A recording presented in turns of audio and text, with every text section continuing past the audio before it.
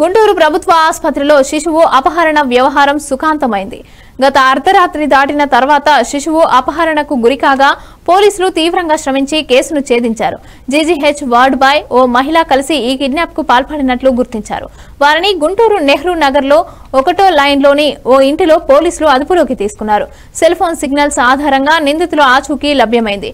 శిశువును స్వాధీనం చేసుకున్న పోలీసులు తల్లిదండ్రులకు అప్పగించారు.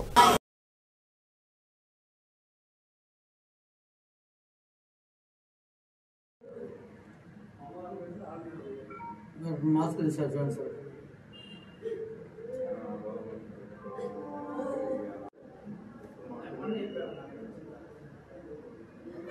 వాడు కూడా ఇప్పుడు వెనకాల ఆగున్నాడు సార్ కొంచెం ముందరకు వచ్చి.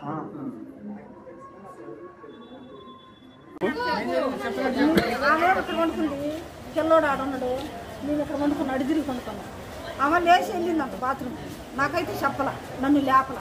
ఇంకా ఆమె బాత్రూమ్కి పోయి వచ్చేలేక పిల్లలు లేదు నేను ఒకళ్ళ పిల్లకాడికి తీసుకెళ్ళి పండేసి మేము చూడుకొని చూడుకొని అంటే నేను గంగం లేచినా అడిగిపోతే అడిగిపోతే పిల్లకాడు లేడు. లేడని చెప్పలేక ఇంకా ఈ అబ్బాయిని తీసుకొని అదర్ తర్వాత ఉడికింది. ఉడికెళ్ళాక ఇంకా మాకు ఏడకంటాం వాళ్ళు ఎట్టండ్రా కూడా నాకు తెలియదు.